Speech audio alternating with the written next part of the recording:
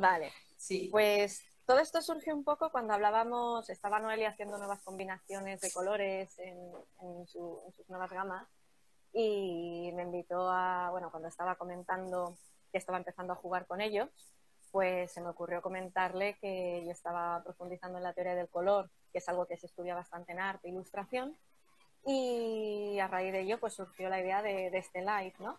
Y en vez de estar hablando simplemente de, de, la psicología, que es más sencillo y todos un poco lo conocemos, ¿no? Que el rojo es más pasión, amor, el amarillo es alegría, pues decidí un poco enfocarlo al tema de las combinaciones, que es algo que más o menos sabemos qué colores pegan, pero no sabemos muy bien por qué, o no nos atrevemos a veces a hacer combinaciones, o tenemos un color que no sabemos cómo cuadrar con otros colores. Entonces, hay unas herramientas que son las que se utilizan en arte cuando estás utilizando, cuando quieres establecer una paleta de colores para enfrentarte a una obra y se puede aplicar a cualquier ámbito de la vida, para decorar una habitación, para ponerte la ropa, para elegir unos pendientes, cualquier cosa. Porque muchas veces tú cuando te pones a pintar no coges los colores a la buena de Dios, que también llega un punto que ya tienes educado el ojo. Pero, a ver, hay gente que lo hace intuitivamente o ya cuando ya tienes educado el ojo. Cuando ya sabes qué colores combinan con cuáles, ya ni te lo piensas. Pero muchas veces sí que es un poco como, bueno, quiero expresar esto o quiero atreverme con esta otra cosa, voy a elegir esta gama que es la que armoniza mejor o contrasta o, o, o, lo que quieras tú buscar. Entonces, un poco es lo que yo quería comentar hoy. Perfecto. El viernes estuvimos hablando, como tú decías, de esas combinaciones y empezamos con el azul y el rojo, que me hizo mucha gracia eso de que se dan de torta. Explícanos un poco más sobre esa combinación. Vamos a ver, más que de esa combinación, no me quiero poner hiperteórica. Yo no sé si veis esta ruletita que tengo aquí tan mona. Sí, sí, se ve bien. Pues yo no veo nada, así que a ver cómo lo puedo hacer porque nunca se me ha ocurrido hacer esto. Vale, y voy a intentar ponerla de forma que yo vea y vosotros veáis, así mejor. Perfecto. Vale. Vale, pues básicamente esta es una, un círculo cromático, que es el básico que se... Bueno, no el básico. Este lo diseñó Johannes Itten, que era uno de los, em, de los que empezaron la escuela del Bauhaus en Alemania y fue los promotores de las teorías del color. Y es alucinante, ¿no? Todo lo que se cuenta tiene un libro que es la base que se utiliza ahora mismo en diseño gráfico y, arte para la teoría del color, que si a alguien le interesa que le busque, porque es que es el manual, ¿no? El manual de, sobremesa de cualquier persona que se dedique a esto. Entonces, pues básicamente tienes los colores primarios, amarillo, rojo y azul, en sus gamas más puras, y digamos que lo que es el opuesto, que es el complementario a un color primario, bueno, pues es el complementario, quiere decir, o a cualquiera. Tenemos los colores primarios y luego los que se elaboran a raíz de las mezclas. Y esto, bueno, todos lo sabemos. Entonces, el círculo cromático, tal y como está compuesto, tenemos pues los opuestos. Entonces, por ejemplo, digamos, el naranja y el azul, esta gama de azul están opuestos en el ciclo cromático. Entonces, son justamente lo opuesto. El ojo lo establece como una combinación tipo armónica. Es decir, es tan opuesto que a la vista, al cerebro, le resulta agradable. Y esto pasa con toda la rueda. Entonces, si por ejemplo tú quieres una, combinación que contraste y que llame la atención, pero que no suene mal, que no quede mal, cualquier opuesto te funciona, en base a lo que quieras. ¿Que quieres el amarillo? Pues con el amarillo, pues cogemos el morado vamos al opuesto. Y así que quieres este naranjita un poco más tenue, pues vamos a este añil. Y así todo el rato. ¿Que quieres un naranja más intenso? Pues nos vamos a este azul un poco más clarito. ¿Que quieres este, este es un, esto es un rojo cadmio que se llamaría en arte? Pues nos vamos a un celeste. Pero no es el rojo Entonces, para resumir un poco sería que buscar el color complementario siempre de, del que queremos potenciar, sería. Si quieres crear un impacto visual muy fuerte, vale. ese sería el caso. ¿Qué pasa? Que el rojo, aquí tendríamos lo que es un rojo puro, y el azul no están opuestos. El, complementario del rojo es este verde. Entonces, al no estar opuesto, directamente el ojo no lo entiende como armónico. Esto es como en la música, suena o no suena bien. No hace falta saber de teorías. Tú lo ves y ves si suena o no suena bien. Entonces, ¿qué pasa? Lo que sí que puedes hacer es incluir los colores adyacentes. Si queremos combinar un rojo con un azul, tenemos varias opciones. Tienes aquí el rojo, cuyo complementario sería el verde, pero al ladito del verde está el azul. Entonces, cualquier color que esté junto a uno de los colores que vamos a iniciar para nuestra paleta, ya empieza a ser, empiezas a meterlo en la armonía. Por ah, ejemplo, quieres combinar el rojo con el azul, por suerte tenemos el verde en medio, pues puedes incluir un verde. Tanto a un lado como al otro. Efectivamente, o sea, realmente la combinación perfecta es este rojo con este verde, pero como lo que queríamos era un azul, pues en vez de este verde clarito, si metemos un azul más el verde y el rojo, ya tenemos una sensación más armónica. ¿Vale? Y si nos vamos un poco más hacia la derecha de la rueda, ese, ese azul clarito no, el siguiente, ¿ya este empieza a verse mal? ¿O cómo? Aquí ya estamos con el naranja. Claro, lo ideal es los colores más adyacentes. Ya si te empiezas a salir un poco, ya, por ejemplo, si metes un poco más naranja, si el rojo le metes más a un rojo más anaranjado, ya empiezas otra vez a armonizar, porque el naranja es el opuesto al azul. Entonces ya empiezas a tener una gama más armónica. ¿Vale? Otra opción, por ejemplo, es lo que creo que lo, lo, dejé en el comentario. te oigo un poco mal. ¿Tú me oyes bien a mí? Sí, yo te oigo perfecto. Bueno, a ver, continúa a ver si siguen esos ruidos o o se han acabado. Continúa, perdona. Luego también puedes utilizar combinaciones que sean simplemente una, notita de color, ¿no? Por ejemplo, el navy que comentaba yo en el comentario cuando introducimos esto. Si coges, por ejemplo, el rojo y el azul que se dan un poco de tortas, pero lo metes como una nota y metes el blanco o un negro, ya tienes un contraste, ya tienes un color más ahí. Entonces, el blanco y el negro los puedes utilizar como un color base, junto con uno de los dos colores que elijas, y el otro poner una notita de color muy pequeña. Ah. Porque realmente el blanco y el negro son o todos los colores o la ausencia de color. Con lo cual ya empiezan a armonizar el resto de los colores. Entonces esa es otra opción. Y la combinación es que es, muy, muy de, manual también. Tú coges una persona, le pones una camiseta de rayas blancas y azules y le pones una nota de rojo y queda divino. O sea, es precioso como queda. O, por ejemplo, cuando combinas em, una falda de flores de múltiples colores y que le pongo de camiseta que no sea un liso o no das, pues pones una camiseta de rayas en blanco y en negro y te queda muy bien también. Pues sí, es un poco de. Son combinaciones arriesgadas de Y luego tienes también las opciones de ir metiendo más colores, que es empezar a meter las tríadas que se llaman. Entonces, si ponemos un triángulo equilátero, las tríadas de color. Con un triángulo equilátero, justo los colores que estén en los tres picos del equilátero también van a ser armónicos entre sí. ¿De acuerdo? Los tres colores juntos, una combinación de tres sería. Sí, pero con el equilátero. Entonces, por ejemplo, aquí tendremos el rojo que le queríamos poner otra vez, y mira qué bonito. Ya tenemos el rojo con, el azul que comentabas antes. Y si le metemos el opuesto en la tríada, el amarillo, ya tenemos una combinación armónica nuevamente. Entonces, esa es otra opción perfecta. Por ejemplo, eh, tú ahora estás llevando, te estoy viendo yo, tienes la silla roja, unos pendientes amarillos, tienes el azul arriba en el pendiente, pues esa tríada queda muy bien, por ejemplo.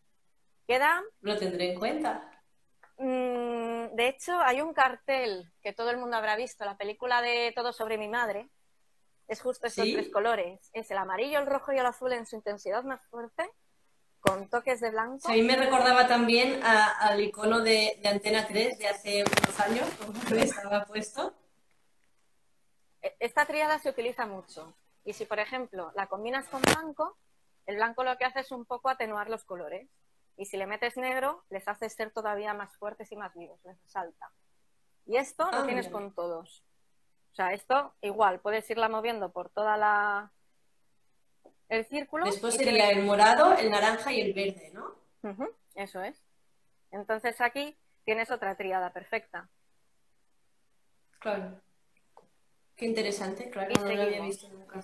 Tenemos otro tipo de tríada y así pues todo el rato, ¿no? Esto ya, si estás en arte, ya lo tienes más que memorizado. Porque es algo que ya... Bueno, yo estudié también el bachiller artístico, pero ah, lo tenía un poco olvidado. A ver, Los complementarios y así sí, pero más ya no. Eso de la tríada no lo había ido nunca. A ver, esto yo he estudiado ilustración y no se menciona. Y en diseño gráfico, esto lo he sacado yo de cursos de diseño gráfico. De cuando yo me he puesto por mi cuenta a hacer diseño gráfico, este es de los manuales.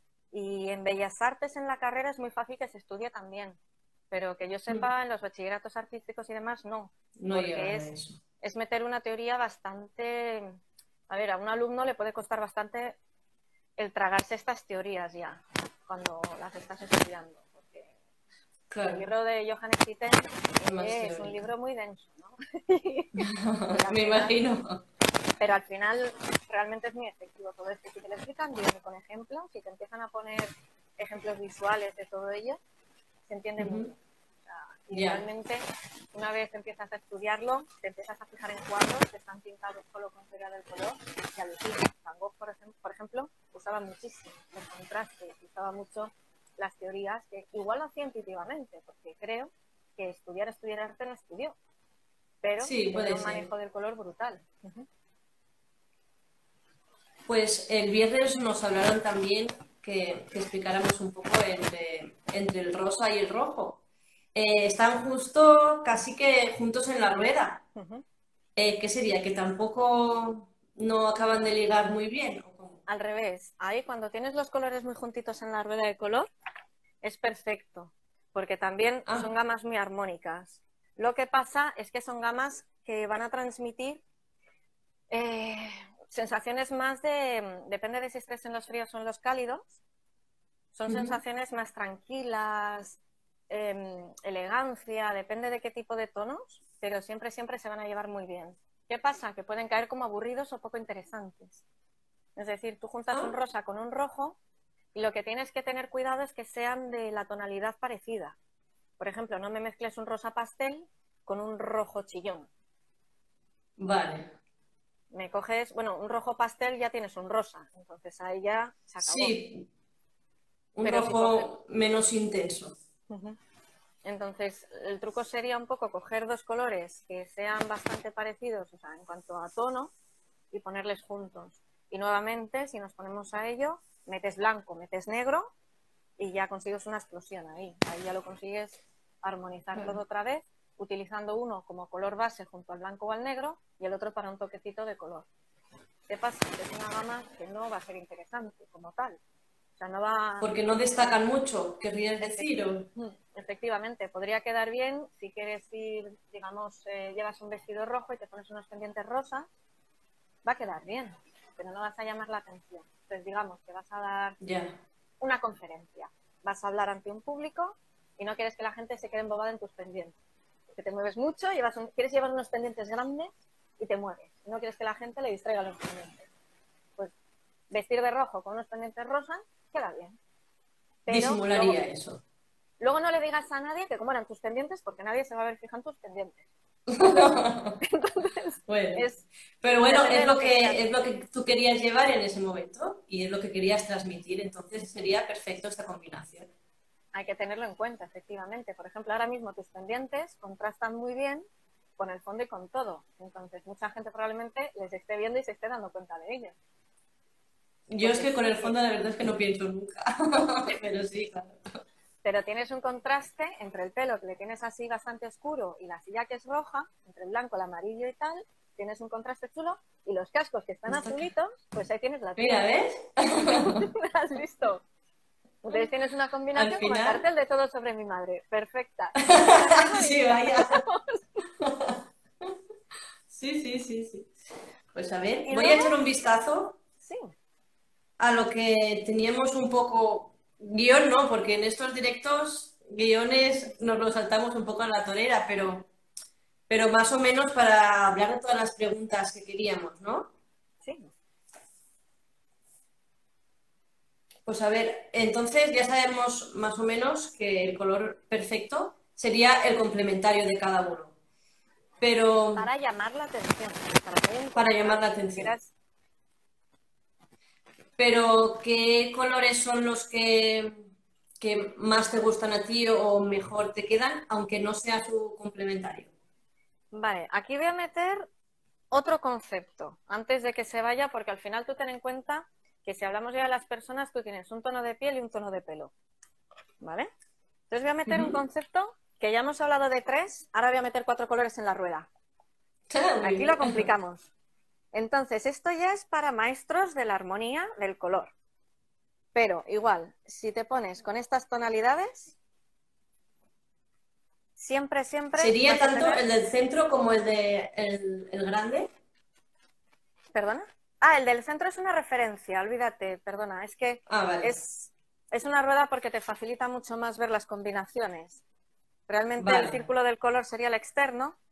Johann Smith trabaja con este interno también y le he querido dejar porque como no sabía muy bien si iba a verse más o menos bien con la cámara, así Sí, vale, señalas sí, a todos los colores y se ve mejor la combinación. O sea, yo estoy hablando siempre de estos.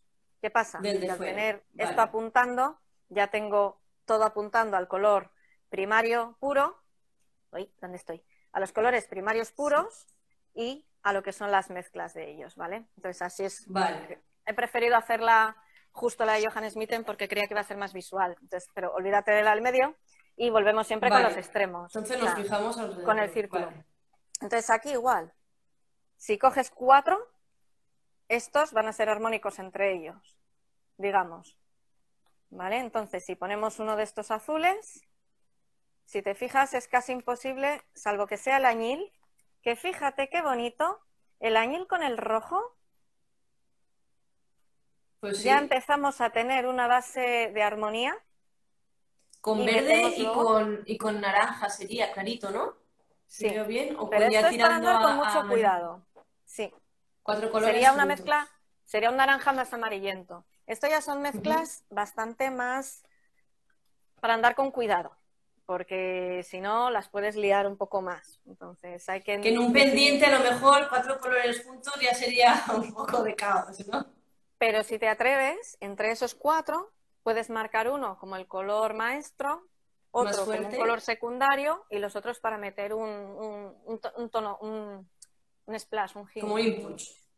un poquito de color simplemente, o sea, un, un detallín, ¿no? Y luego, pues, lo que dices tú de qué colores le gustan a cada uno, qué colores me gustan a mí. Yo soy una persona, yo personalmente, siempre me ha gustado el negro, o sea, yo mi color base de armario es el negro, y luego me, me muevo mucho con los morados y lo que son los colores así tipo burgundy, los... em, ¿Burgundy es español? Perdona. Sí, ¿no? El, un Pues no rojo sé de qué color.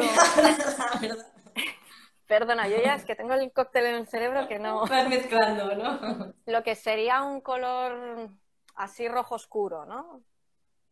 Burdeos. tona- Un burdeos, eso es, ahí le has dado. Entonces yo me muevo mucho personalmente con esas mezclas de colores y a mí me gusta siempre meter el negro de base y luego meter algún color em, hay un poco más. Bueno, mira, si te fijas, no sé si se ve, ¿En la cortina? No. aquí tienes rosa, rosa, Sí. negro y un poco de blanco. Entonces, si te fijas, precisamente con el negro destacas muchísimo los colores. Es Sí, lo pero al final cualquier color en negro destaca mucho, ¿no? O Sí, igual sí, que en blanco. Mientras ese color tenga una tonalidad bastante subida de tono, que sea un color bastante lumi- luminoso. Si ya esos colores les vas apagando, van a destacar menos con el negro. Entonces ahí, por ejemplo, son gamas que a mí me gusta mucho. Jugar siempre con el negro, en vez de con el blanco. Hay gente que, por ejemplo, le gusta jugar con el blanco y le mete una nota de color. Yo personalmente Claro. voy al revés. ¿Tú eres más de colores apagados o de, de negro y combinarlo con... Bueno, apagados también sería un poco raro, ¿no? Porque No menos intensos, por así decirlo. Me suele gustar combinar el negro con morados subidos de tono, rojos subidos Vivos. de tono y colores, sí, sí. Realmente el negro con un apagado no me llama. El negro con un mostaza. Queda un poco triste también, como decíamos antes, que no, no llama mucho la atención. No diría nada, no diría nada. Claro. No hay nada que destaque.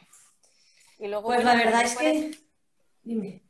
Nada, perdona. Iba a decir que luego dentro, De todas, estas gamas, si te has fijado en la anterior que he señalado, que tenías el verde, el morado, el amarillo, que se estaban dando de la mano, esa era una gama muy de la naturaleza, por ejemplo.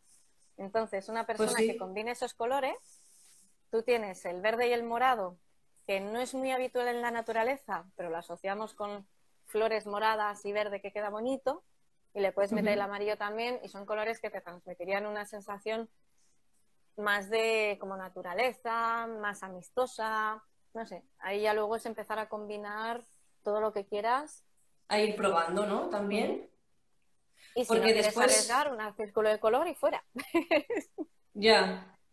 Porque después es eso, que cada una tiene su personalidad y puede hacer las combinaciones a su manera también. ¿Y hay alguna combinación que digas, o sea, no, eso duele a la vista o, o ya, mira, casi toda que es, es buena? Porque... El rojo y el azul, efectivamente. Cualquier color que en el círculo no quede totalmente complementario o que quede raro, ¿no? Que quede en un ángulo raro. Esas combinaciones las ves y quedan raras.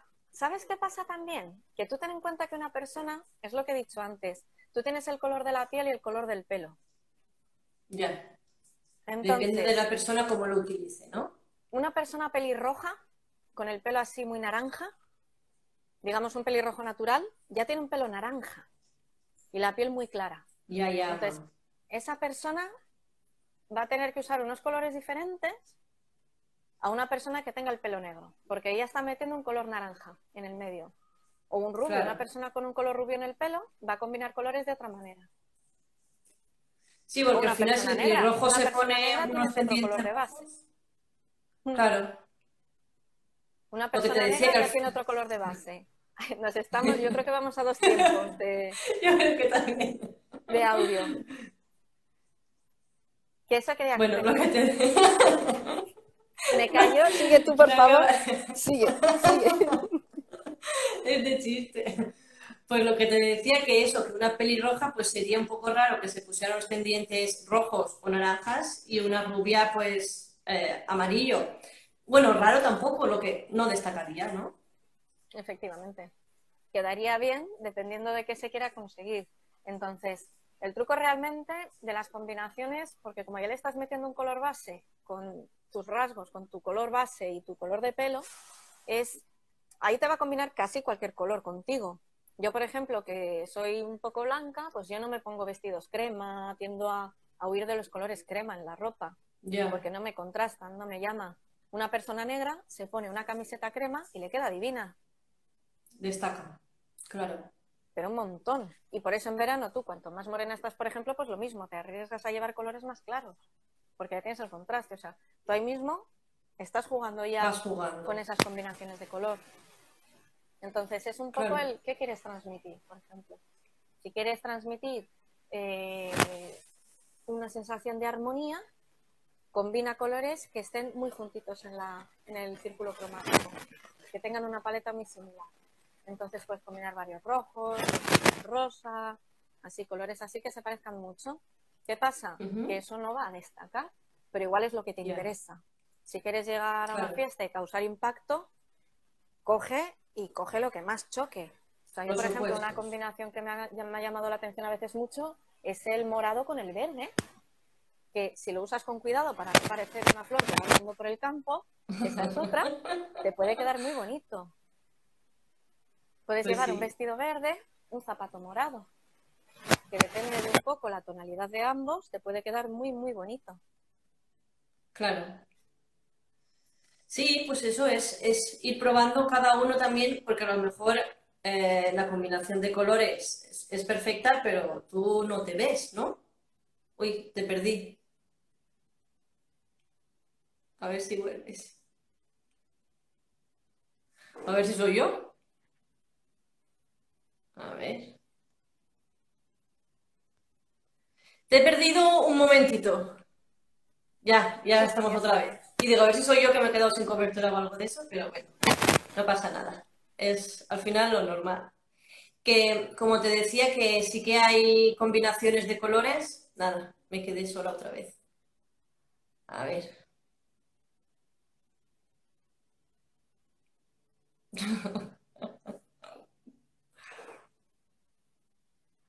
Vale, ahora sí. A ver, sí.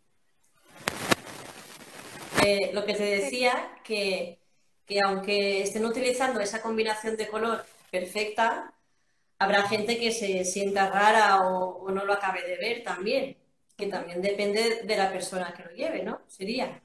Efectivamente. O sea, a mí, por ejemplo, no me metas, yo me he visto con colores blancos y claros y me puedes decir que me quedan perfectos, no me veo. O, y no te gusta a ti, claro. O tu gusto personal simplemente. O sea, eso ya es gusto personal más que combinaciones. Los amarillos. Hmm. Yo, por ejemplo, huyo de los amarillos en general. Pero tengo, por ejemplo, el mostaza me gusta muchísimo. Entonces, a mí no me des un amarillo vivo. Es un derivado. Pero dame un mostaza. Sí, bueno, al final es eso lo que, lo que te guste a ti, ¿no? Por mucho que no peguen o no vayan, es lo que te guste. Y luego la educación que tenga cada uno y su base cultural o su base, o sea, no educación, sino lo que ha vivido cada uno, de lo que se ha nutrido, de, toda la estética que le ha rodeado desde que es niño, ¿no? Dependiendo de los colores que haya. Depende de dónde hayas nacido, ¿te refieres? Dependiendo de. De la parte del mundo, por ejemplo, donde hayas nacido, o te refieres más o menos aquí todos. Ese es un buen punto, por ejemplo.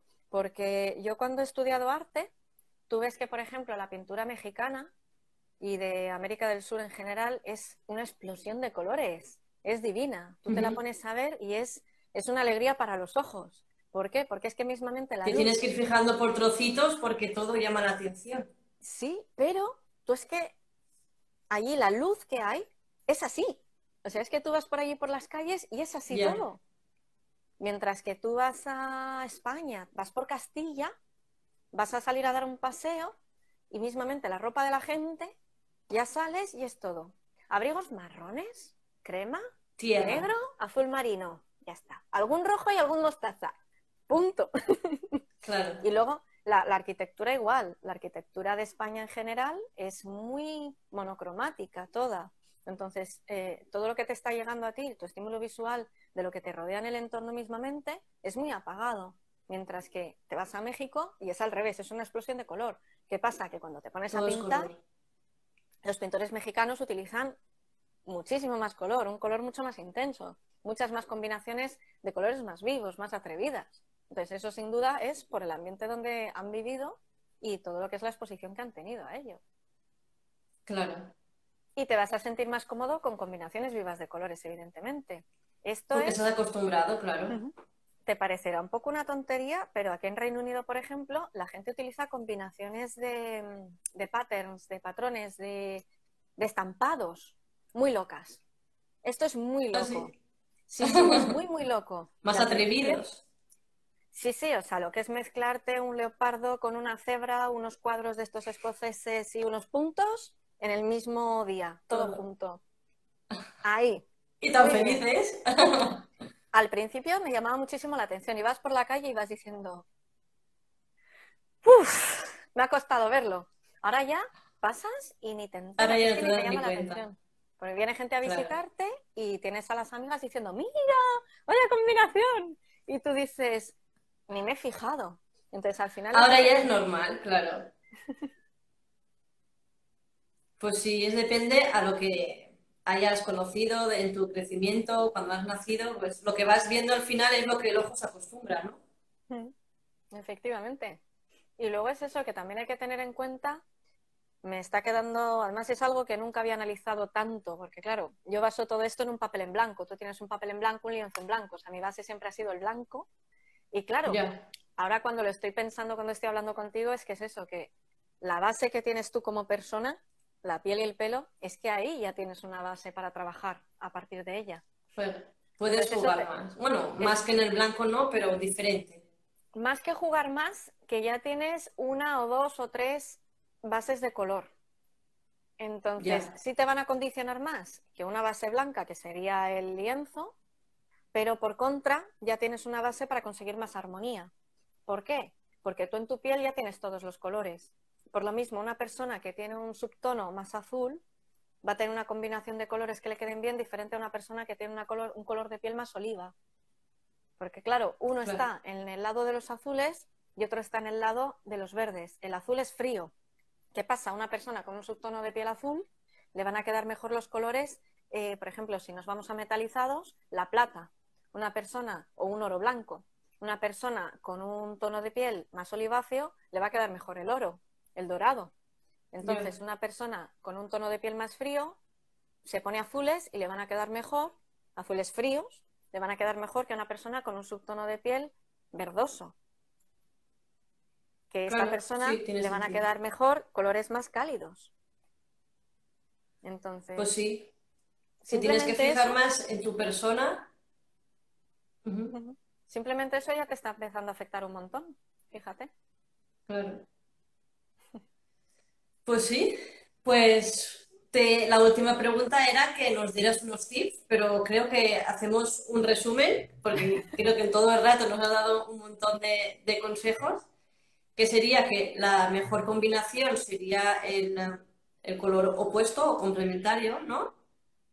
Para conseguir contraste, sí. Para que llame más la atención, que después lo podemos introducir o mezclar con tanto con el blanco como el negro para que dé mejor armonía, sería decirlo mejor. Para suavizarlo un poco o para que tenga una cierta coherencia. Y que los colores que están al lado de, la rueda no es que destaquen mucho, pero se llevan muy bien, por así decirlo, ¿no? Se llevan muy bien también si buscas. realmente el truco es decir, ¿qué quiero conseguir hoy? ¿Quiero impactar? ¿O quiero pasar un poco más desapercibida, como quien dice, ¿no? O sea, quiero conseguir algo más armónico, más tranquilo. Por ejemplo, es eso, los colores que están cerca en el círculo cromático vas a conseguir, como son más armónicos, un, tono, un, aspecto más elegante, que si son tonos muy opuestos. Cuanto más consigas tener una gama armónica muy cerrada, vas a conseguir una imagen más suave y elegante. Es por lo que, por ejemplo, a ver, luego claro, el blanco y el negro son colores comodín tú te pones un traje de vestir cuando tienes una visita hiperformal y no eliges un traje con colores muy chillones, no eliges un traje con colores muy dispares. Puedes elegir un traje rojo, pero lo vas a combinar con colores, no vas a meterle un verde, que es el complementario. Llamaría mucho la atención. Efectivamente, tú estás en una reunión y no ves a gente con esa combinación. Te pones un rojo y le suavizas con algo, te puedes poner una camisa naranja, por ejemplo, ahí y lo suavizas muchísimo. Tienes un traje azul, te pones una camiseta azul de otro tono o un verde que estén bastante cerca en tono y te va a quedar muy armónico, te queda muy bonito. Si vas a meter un amarillo, eh, queda muy bonito, pero todas las miradas se van a ir a ti en cierto momento, va a ser como... claro, te van a mirar quieras o no quieras. Que ahí está el que quieres conseguir, nuevamente. Depende con el pie que te levantes, ¿no? También. O el propósito de cómo te quieres de ese día. Es lo que dicen siempre, por ejemplo, tú vas a una boda de invitada, no te vistas de blanco, no te vistas de combinaciones que vayan a resaltar mucho luego en las fotos o vayan a ensombrecer a la novia, ¿no? claro, tiene sentido. Pues, pues yo creo que, que, hemos abarcado todo lo que teníamos pensado en hablar, ¿no? ¿Se te ha quedado algo en el tintero o Podría estar horas hablando Sí, cuando me dijiste, me lo voy a pasar pipa y dije, ¡guau! Mejor. Porque realmente es algo que tenía muy olvidado, entre comillas, ¿no? Es algo que usas todo el día, pero no ya de forma consciente. No te lo planteas igual. Claro. Ahora que me cuesta repasarlo, ha sido como, mira, es verdad, y esto, y esto, y esto. Entonces, es como con lo cual, si no hay pues ninguna pregunta realmente concreta y tal, lo podemos dejar aquí, porque si no, ya te digo, puedo estar horas hablando de... Puedo complicarlo hasta el infinito, si quieres. bueno, al final así, los trucos fáciles para que la gente los pueda utilizar, yo creo que, que ha estado perfecto. Sí, perfecto. Pues muchas gracias, Noelia, por la oportunidad. Gracias a ti por hacerme compañía y por darnos todos estos consejos. Nada. Que yo también tenía alguna noción, pero que va, nada de eso. Pues bueno, pues eso. Muchas gracias y a ver si algún día nos podemos ver, no sé. Pues sí, a ver si es verdad. Un saludo y gracias a todo el mundo que nos ha estado escuchando. Muy bien. Hasta luego a todos. Gracias.